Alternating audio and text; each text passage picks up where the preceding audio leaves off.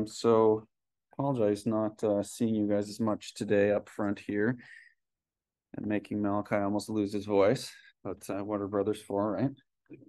I have been trying to get the um, team assignment kind of fixed. So there's an optional team assignment this evening, and it was not quite in the shape that we wanted it in. So I've been kind of reworking that extensively um, so that hopefully you will have a smooth experience going through the team assignment and the TAs will have a smooth experience helping you with that.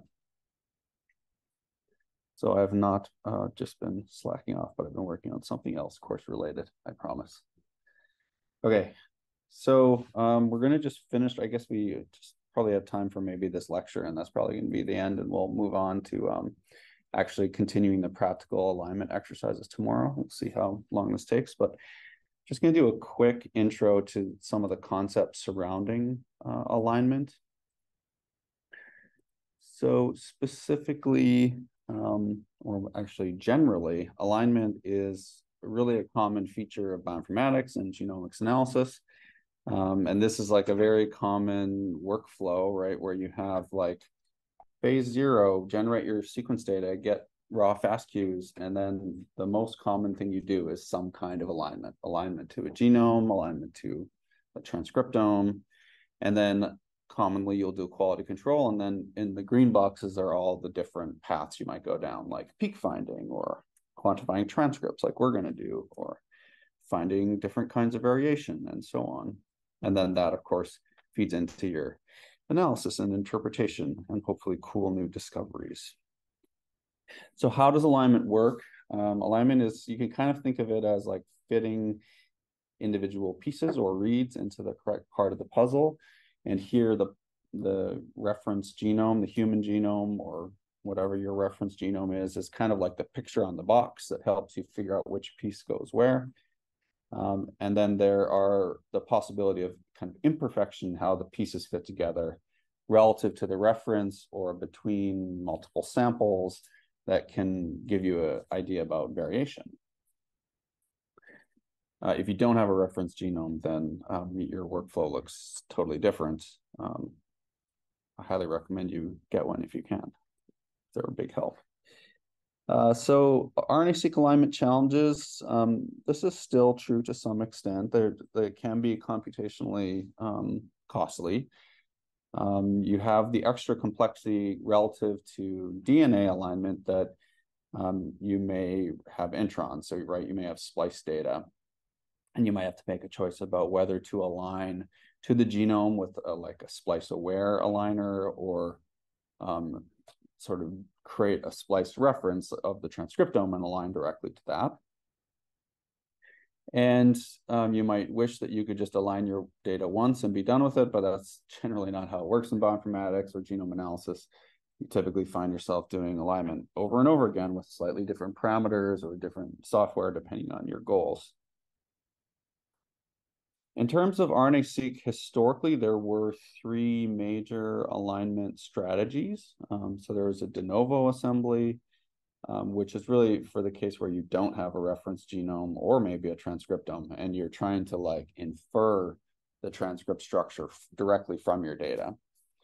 Um, and we have a module that we won't get to in this version of the course that, that we do in longer versions that actually introduces to some tools um, for transcript assembly. Uh, you can align to the transcriptome or you can align to a reference genome with a splice aware aligner. So we're going to do the third approach, which is probably the most common approach now. In terms of which strategy is best, uh, it sort of depends. So as I mentioned, if you um, don't have a reference genome, uh, you may have uh, no choice but to do a de novo assembly approach. Um, there also is some possibility that there's like complex variants or haplotypes that would be missed using a reference genome approach where the reference genome itself can't like fully represent that complexity, right? Like most non-graph based reference genomes are just like one single representation of like an individual or a or simulated individual. So in cases where there's like complex structural variation or a lot of like small variation packed together, um, that might cause you problems that you could get around with using a de novo assembly approach. Um, aligning to the transcriptome, um, if you have short reads, this this used to be the preferred path. Like if you had less than 50 base pairs, um, that is not as common now. So most places are generating 100 plus reads, and so this is not as common of a strategy. It also relies on knowing the the sequence of of transcripts of having a known transcriptome. Uh, aligning to the reference genome is kind of for all other situations, and now, as I said, most situations. Uh, it doesn't necessarily rely on known transcripts, although you can use known transcript structures to guide the process. Um, it can still allow for discovery of new transcript structures from um, like a, a, reference guided approach. Uh, and there are uh, multiple splice aware aligners that allow you to do this, aligning directly to the reference genome. So there are many aligners. Um, we're going to introduce you to one or two or maybe three in this course. There's dozens of others. Um, and this is kind of like a history of various aligners. I think it's too small to read, but HiSat, which we're going to use, is on there somewhere. So should I use a splice aware or unspliced, unspliced aligner? Um, we kind of talked about this. Um, the fragments that we're sequencing represent mRNA with the introns removed. Um, but we're usually aligning these reads back to the reference genome, again, unless you have short, less than 50 base pair reads you're probably going to use a splice-aware aligner. And specifically in this course, we're going to introduce the HiSat aligner. So HiSat is one of these splice-aware aligners. Um, it does require reference genome. It, it's very fast, uh, and it's a very robust and well-developed and maintained tool, which is one of the reasons we, we chose to use it. It uses uh, an kind of complicated indexing scheme based on the Burrow Burrows Wheeler transform and FM index. And it does multiple, it uses multiple types of indexes for alignment. We're going to kind of walk through some examples just conceptually of how this works. There are several papers that describe the algorithm in like its all its gory details, um, which I encourage you to check out if you want to understand it at a deeper level. But basically, it what it does is create. We're going to build these indexes. You create a genome-wide index and then a large number of smaller local indexes. Uh, and then you kind of do this iterative uh, alignment strategy again, using those two indexes. It also tries to um, account for, or it has the option to account for known polymorphisms and known transcript structures. So it, you can feed it information about um, known uh, exon-exon junctions and, and SNPs.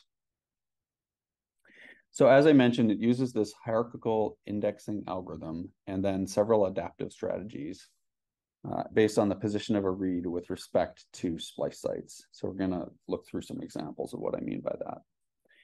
Uh, it has, has this multi-step process where you first find candidate locations across the whole genome, um, mapping part of each read using this global index, and that usually gives you one or a few candidate locations for your read as you try and figure out where it aligns to. And then you switch to a local um, alignment using these local indexes. So it takes the genome, it makes one big global index, and then it makes 48,000 local indexes and um, uses them both to come to a final alignment. And then for paired reads, each uh, pair or each mate is mapped separately uh, and if a read fails to align, then the line, the alignment of its mate can be used to anchor it and sort of re recover that uh, unaligned mate. So here are some examples to kind of hopefully make this a little more clear. So what we're looking at here are two exons from um, chromosome 22. So there's an exon one, there's a relatively small uh, intron, and then there's another exon. And we're going to look through examples of how this aligning strategy works for three different kinds of reads. So um, for the read that is just entirely contained within an exon. Uh, for a read that slightly spans from one exon into another, uh, and then another that is sort of more evenly split across two exons.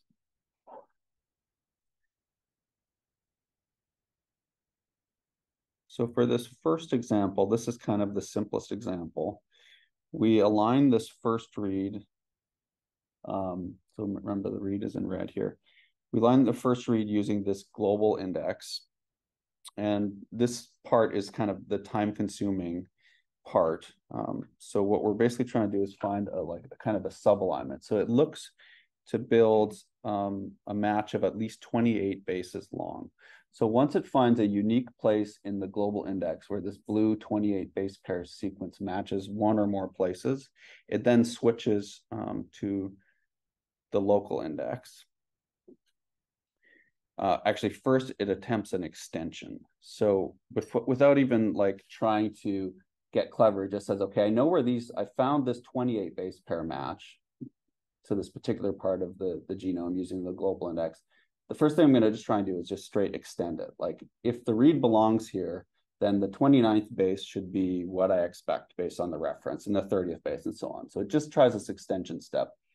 And if it matches, it matches. And it's like, great, I, I figured out kind of where I thought it belonged using this 28 base segment and I extended and it all looks good. The read must belong here. So that's kind of like the simplest possible situation. If you happen to span uh, an intron, of course, it gets a little more complicated. So again, you start with this um, for the second read. Um, we have this problem where there's actually just like a very short segment on the other side, right? So that's going to be a little bit more challenging. So the first 28 bases on the right end of the read map, again, we find this unique match to um, the global index. And then we again uh, do this extension phase. So the, the purple. And so we're just checking to see if the read matches to that place that we've we positioned ourselves using the global index search. And it, it works up until like the 93rd base or something like that. But then you start getting mismatches. It hits this intron and it's like, these this is no longer the right place. There, there's mismatches. So at that point, it switches to um, the local index and attempts um, to align the remaining eight bases. So now it's looking for an eight base pair match in this local index.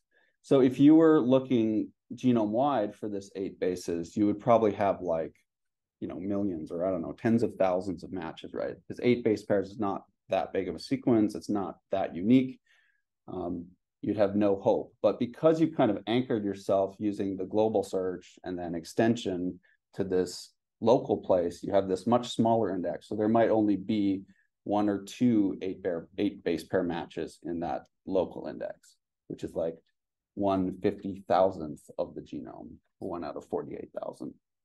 So that's what allows you to find the nearby match and then complete the alignment and create this spliced alignment. Um, it does some other checks, and then if they kind of like make sense in terms of the the orientation of the match, like if the eight base pairs was matched but it was in the wrong direction, that would fail, right? It has to be like eight base pairs in a like consistent direction. Yeah. Match, you are one, but it's not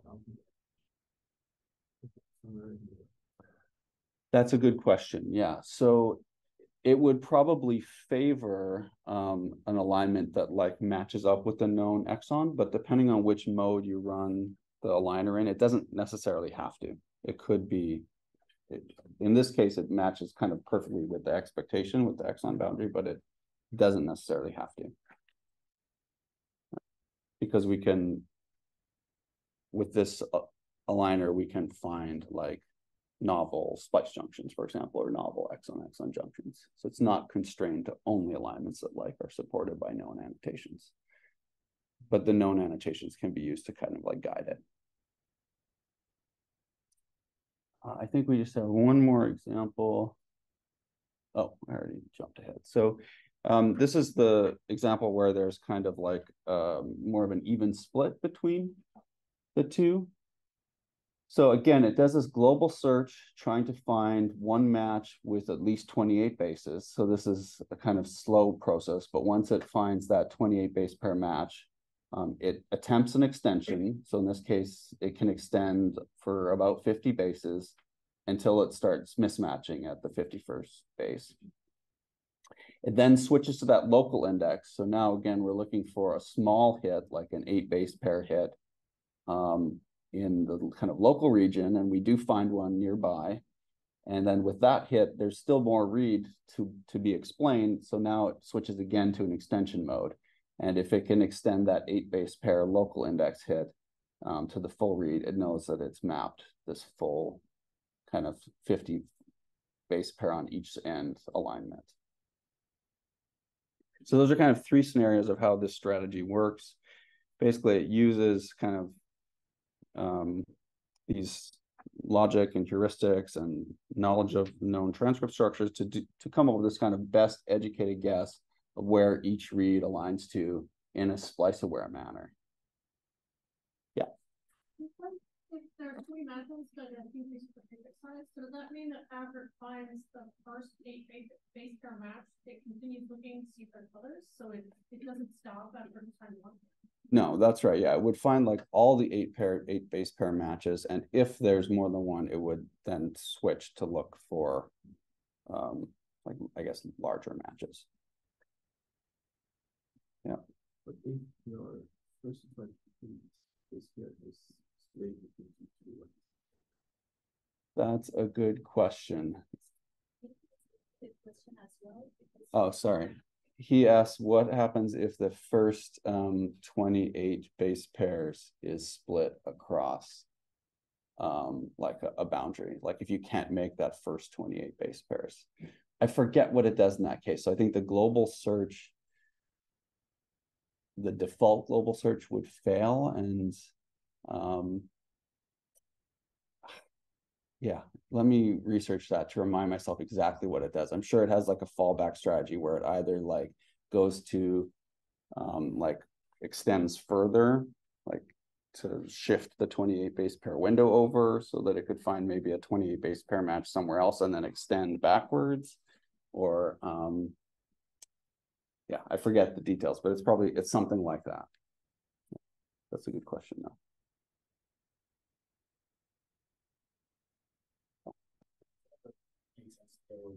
first. Like to briefly case pairs with that fails. Try from the other case. Yeah, try from the other end of the read. That seems like that would be a logical thing to try. Yeah. That could be like the, another answer to his question about like what to do with the first 28 base pairs. I just forget the details of specifically what it does, but it's, it's probably something like that. And this for read one and read two, like totally independently? Yes, it does it for read one, read two, at least at first, but then if it fails one read, it uses the other read to anchor and retry the failed read.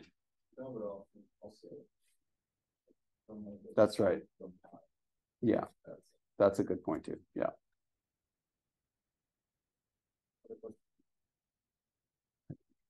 So is the like that isn't as good if you have short reads, it needs those twenty-eight. And, and if not, then it has to kind of do with different Swift algorithm.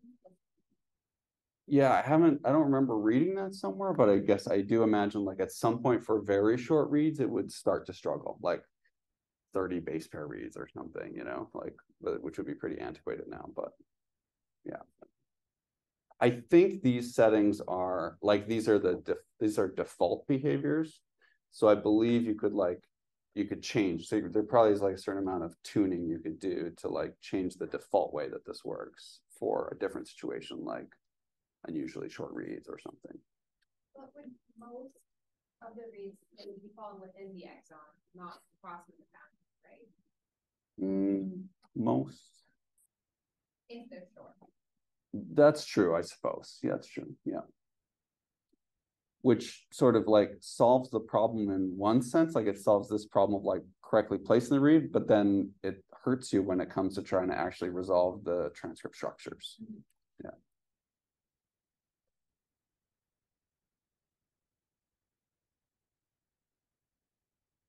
Okay. So what do you get out of HiSAT? You get a SAM or BAM file. Uh, SAM stands for sequence alignment uh, map format. Uh, BAM is just the binary version of a SAM file. So a BAM file is basically a SAM file. Um, the difference is just that the SAM file is like plain text, so you can actually open it and read it. The BAM file is like a compressed version. It, it's like BAM is to SAM what the fastq.gz is to fastq, right? Just like a unreadable compressed version of it where you need at that point like special software to interact with it. And it reduces the size of the files like quite substantially. Like I want to say it's like one tenth the size of a SAM file. And really nobody does anything with SAM files. Um, they're just like at this point way too big. Um, everything's either BAM or CRAM. A lot of stuff is CRAM now, which is like the next even more efficient uh, compression strategy for for BAM files.